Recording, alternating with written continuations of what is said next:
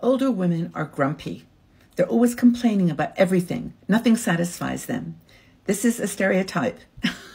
this is not true. There, of course, are grumpy older people. There are reasons sometimes that they're feeling grumpy, but there are many of grumpy younger people as well. But I think it's not a particular trait of getting older to be more cynical and judgmental. And even though you've got the open the movies like you know grumpy old men, and you've got people that you know are just sort of critical critical of the way things have evolved in the world it's it's it's just part of their way of dealing with the with the challenges and the and the life situations that they've had to deal with.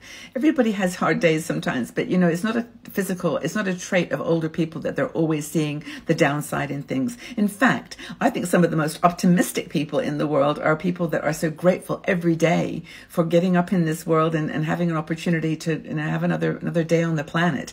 I mean, older women, 60, 70 in our 60 and me community are always saying how grateful they are for just another opportunity to you know to do the things that they love.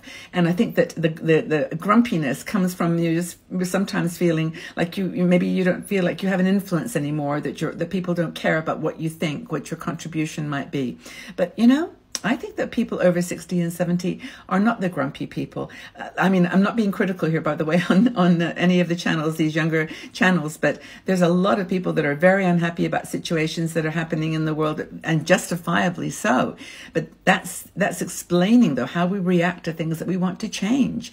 And older women, if you think about it, were the people that were there, you know, that, that they were the, the trailblazers when it came to, you know, I demonstrated against the Vietnam War, even when both my brothers were in the army. You know, I was marching every single, almost day, it seemed. We were fighting very hard. I mean, think about the women's movement and about, I know it's not perfect. I know that women have not got all the rights that they really want in the workplace, but when Boomer women made a start at it, we tried our very best. You know, we were there when things were very difficult um, politically and also with technology, with all the things that came about and changed our lives dramatically. You know, we a lot of younger women, by the uh, older women, by the way, got married when they were 18, 19, out of high school. It was the thing. You know, a lot of women did this, and they ended up in relationships that were very abusive. They just didn't know the person. They didn't know who they were getting married to. That you know, uh, uh football hero in high school who you love so desperately turned out to be someone you know diff- completely different. So a lot of women in our 60 and me community are, are dealing with divorce, many several marriages sometimes, trying to find someone that accepted them for who they were truly. Anyway, we've been through a lot. I don't think we're grumpy. We're just realistic. We've seen it from both sides, but we want to be here to help and we want to give you some perspective. So I'll push back on that stereotype too. Not all older women are not all grumpy.